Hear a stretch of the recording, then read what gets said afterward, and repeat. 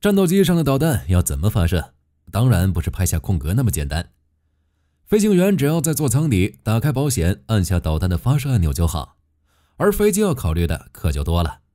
在一系列复杂机构的共同作用下，导弹才能精准地命中目标。而在这些精巧而复杂的电子机械结构中，有一个部件往往被人们所忽视，那就是战斗机的武器挂架。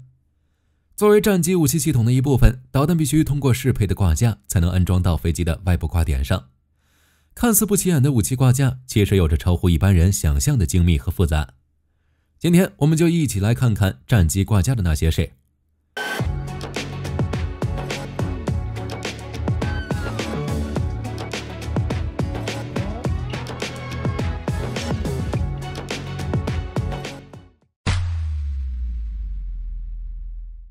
在详细介绍导弹的发射方式之前，我们要明白一件事情，那就是导弹并不是随便挂的。现代战斗机并不只是用来夺取制空权的，多功能发展才是主流趋势。如果使用焊死在机翼下面的固定挂架，就会限制战斗机的功能；而使用挂架之后，相当于在战机和导弹之间增加了一个中间件。不论是更新机体，还是往飞机上挂载新开发的导弹。都只要对中间的这个挂架进行相应的修改和适配，就能够让机体和导弹配合起来。我们以 F A 十八大黄蜂为例，来看看美军飞机上的挂点配置。F A 十八 A B C D 型上一共有九个挂载点位，最左边的是一号，最右边的是九号。这两个挂载点都在翼尖位置，用于安放 A M 九响尾蛇导弹。二三七和八号位置位于左右两个机翼的下方。虽然只有四个位置，但这并不代表着 F A 十八只能在机翼下方挂四枚导弹。要想最大化利用 F A 十八的澎湃动力，就不能直接在这几个挂载点上安装挂架挂载导弹，而是安装 S U U 六三 A 这种扩展挂架，也就是大家经常看到的机翼下的这个像隔板一样的东西。这种挂架相当于是一个扩展平台，可以在它的上面安装别的挂架，起到增加导弹和炸弹挂载的效果。挂点四和挂点六位于机身两侧，可以安装 LAU 幺幺六挂架，用来发射 AM 七和 AM 幺二零导弹。值得注意的是，四号挂点还能挂载前视红外吊舱，用来探测和标记目标。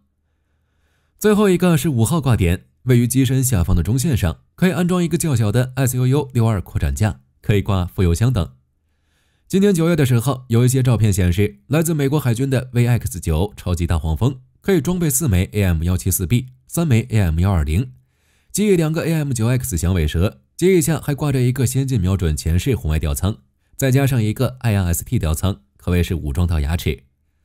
我们先来看一个简单的例子，作为近距离格斗弹，FA 十八翼尖上的 AM 九响尾蛇空空导弹重量很轻，但也有八十五点三公斤的重量，即使是在拳击比赛里也算是重量级的了。那么问题来了，如果把它挂在 FA 十八上？挂架至少需要承受多少的重量，才能让它不至于在空中掉下去呢？大家可以先暂停一下，思考一下这个问题。如果各位还记得 F A 十八在设计时的一些技术细节的话，就会知道这个问题的答案。挂架要承受的重量并不是八十五点三公斤，而是八十五点三乘以七点八，大约为六百六十五公斤。这是因为海军的 F A 十八常见的战术过载限制为七点八 G，在最坏的情况下，响尾蛇和机体连接的部分就要承受到约七点八倍的拉力。因此，航空相关的零部件往往需要非常仔细的设计和严格的测试，才能被装载到飞机，尤其是战斗机上。安装的位置也需要特别考究，保证飞机在滚转时，武器发射架不会断裂脱落。不过，最关键的问题还不是如何将导弹固定在机翼下，而是如何让它既能固定住，又能确保它在需要的时候，按照我们的意愿稳定的发射出去。由于导弹的飞行特性和飞机机体本身的声阻特性是不一样的。这就可能造成在导弹的分离过程中出现一些飞行员意料之外的事故。我们考察导弹刚刚分离的时候，就会发现一个问题：导弹的发动机在此时还没有推力，或者产生的推力很小。此时导弹的速度和飞机飞行的速度是相同的。考虑到它杆状的外形，我们可以判断，此时导弹产生的升力并不总是能够维持导弹的稳定飞行。也就是说，从分离到发动机稳定工作的这一段时间里，导弹会有一段失速的时间。这恰恰是最危险的。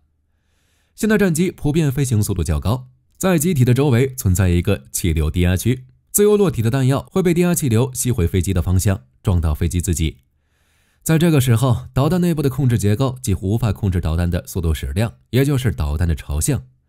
如果出现乱流，导弹的攻角大幅度改变，一旦发动机点火，就可能出现不受控制的乱飞。正因如此，为飞机设计一个合适的结构，让它适时的飞出去是很重要的。而导弹的挂架设计也是战斗机的设计的难题之一。机载导弹的挂架大致可以分为两大类，一种是弹射式，而另一种是导轨式。弹射式挂架的基本工作原理是先把导弹推出发射架，再让导弹点火；而导轨式则是先点火，让导弹依靠自己的动力脱离机体。但只有挂架是不行的，要把导弹挂在挂架上，还需要连接与分离机构的帮助。导弹的连接与分离机构可以分为爆炸螺栓分离。弹簧弹射分离和气动弹射分离，在长期的采购和实践中，导弹挂架形成了一个庞大的家族。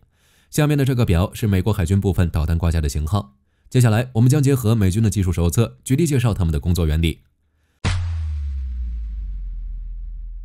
首先，我们来看看弹射式发射架，F 十四上的 LAU 九二、LAU 九三，以及 FA 十八上的 LAU 幺幺六 A、F 十五上的 LAU 幺零六等，都使用了这种方式。弹射式挂架的工作原理是利用气体活塞或者液压装置，先将导弹弹射出去，再启动导弹的发动机。一般来说，重量比较大的中远程空空导弹、空舰导弹、空地导弹和空射巡航导弹等都采用这种发射方式。一方面是因为导弹重量大，发动机推力强，如果在飞机上点火发射，可能会影响飞机的姿态；另一方面，这也是为了避免导弹点火后产生的废气被飞机发动机吸入，导致停车。我们以 LAU 幺幺六挂架为例，来简单介绍一下它的工作过程。LAU 幺幺六由雷神公司开发，主要用于 FA 十八上发射 AM 七麻雀和 AM 幺二零。LAU 幺幺六挂架里面有一套机械结构，配合弹体上的挂载环，能够将导弹和挂架紧紧地锁在一起，防止战机在大机动时弹药意外甩脱。在地面上挂载导弹时，地勤要将导弹上的插头插到挂架上的脐带插孔中。以便将导弹接入机内的武器系统。通过这个脐带插孔和脐带电缆，导弹可以接收来自飞机总线的数据和指令，例如目标的雷达信息、开火指令等等。挂架的前后各有一个弹射角，弹射角的正上方是两个 CCU-45 脉冲弹药筒，它们类似于一个超级大号的空包弹。在导弹挂架接收到发射指令后，由电脉冲引燃，弹药筒释放快速膨胀的高压气体，驱动活塞将导弹从挂架中弹射出来。根据预先设定好的程序，导弹会在脱离机体一小段时间后才点火发动机并飞向目标。挂架的这一推就把导弹推出了飞机周围的低压区，能够防止导弹被气流影响撞上发射机本身。F 二的格斗弹挂架则比较特殊了，为了保证隐身性，F 二采用了内部弹仓，因此必须要有一个结构让 F 二的导弹到外面去发射。这就到了 EDO 公司的制造的 LAU 幺四二 A 出厂的时候了。LAU 幺四二 A 也被称为阿姆拉姆垂直弹射发射器。在发射前，F 二需要先打开侧弹舱门，挂架上的液压机械臂会先将导弹一个倾斜的姿态伸出弹舱外，准备发射。当收到在飞行中发射导弹的指令时，AVEL 系统会进行充电，一根高压氮气驱动的活塞就会以每秒七米的速度，在不到十分之一秒的时间内，将导弹安全地通过气流边界层，从武器舱中弹射出去。AVEL 的弹射速度最大限度地缩短了武器舱门打开的时间，从而保证了战斗机的隐身特性，降低了 F 幺幺七那种打开弹舱被雷达抓到的风险。这种液压结构的优势就是无需重新装填脉冲弹药筒，对地形维护来说非常友好。但缺点嘛，自然就是重了。为了保证结构坚固可靠，这个 AVEL 的重量达到了五十多公斤，比 LAU 幺幺五整整重了一倍。不过对于 F 二这种双发重战来说，这点重量也算不上什么。说完了弹射式挂架，我们再来看看导轨式挂架。我们以马文公司开发的 LAU 七为例，来看看这种导轨式挂架是怎么工作的。LAU 七系列导弹发射器最初设计用于携带 AM 九响尾蛇导弹。根据供应商马文工程公司的说法，LAU 七也可以进行改装和升级，以携带和发射尺寸类似的响尾蛇的其他导弹，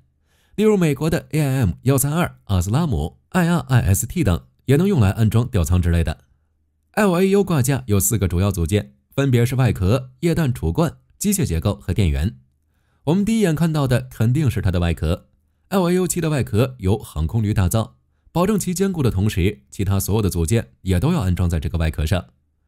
接下来是外壳内部的组件，最大的当然是这个压缩氮气罐，其中储存有二百二十个大气压的高压氮气，用于冷却响尾蛇导弹的红外引导头。可不要小看了这个液氮瓶，早期采用非冷却导引头的 AM9B 只能跟踪发动机排气的高温，呃，还有太阳啊，总之跟踪效果并不好，还只能追在敌机屁股后面发射。但后期型号的响尾蛇加上了液氮冷却之后，引导头的灵敏度大幅度上升，从而使导弹能够在任何方向上跟踪由于空气摩擦而被加热的任何飞机。液氮储罐用一个螺口和机械组件相连，这个机械控制组件也是控制导轨动作和导弹发射的关键部分。它让飞行员能够在飞行过程中监控导弹的状况，控制导弹的制导系统、启动引导头和进入发射程序等。机械控制组件也包括了从飞机总线接收信息的脐带电缆，飞行员投瞄的信息会通过这组线缆传送到格斗弹的处理器中，从而实现格斗弹和飞行员看向同一个方向。与此同时，导引头的锁定信息也会回传给飞机的控制端。除了回传信息以外，整个导弹发射时的机械操作，以及导弹在起飞和着陆时的安全装置，例如急爪、急爪锁、电磁阀和脉冲器等，也要由这个组件来控制。最后是电源，这个没什么可说的，就是一个普通的 PP 二五八一 A 单向电源，为挂载的电动结构提供电力。比较有趣的是，前面我们说到 LAU 七上有一些机械的安全结构，可以在火箭发动机推力没有达到最大时，防止响尾蛇导弹掉出导轨。这个力的大小主要靠内部的一个弹簧来调节。不过在七八十年代的时候，不知道是因为什么原因，这些弹簧的制造商搞错了型号，提供的弹簧弹力太大，直接导致在发射时，即使是用上了响尾蛇的全部推力，依然无法从导轨上挣脱。在几场有惊无险的空中事故以及地勤大爷的连夜加班之后，所有的这些弹簧都被换掉了。最后，我们来对这两种发射架做一个比较。一般来说，重量比较大的、射程比较远的导弹，往往都使用弹射式挂架，而近距格斗导弹则采用导轨式挂架。导弹直接在导轨上发射，可以节约在近距格斗中宝贵的时间。由于空空导弹和空地导弹型号越来越多，正如我们前面看到的，如果每种导弹都采用专用的发射架，将大大增加军械保障的工作的复杂性。因此，可以想见的是，今后导弹发射架将越来越强调通用化和标准化。